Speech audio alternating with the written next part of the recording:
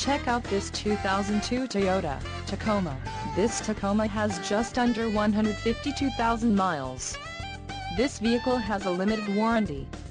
This vehicle gets an estimated 17 miles per gallon in the city, and an estimated 19 on the highway.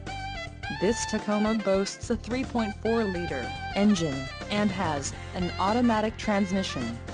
Additional options for this vehicle include power steering, AM-FM stereo and air conditioning.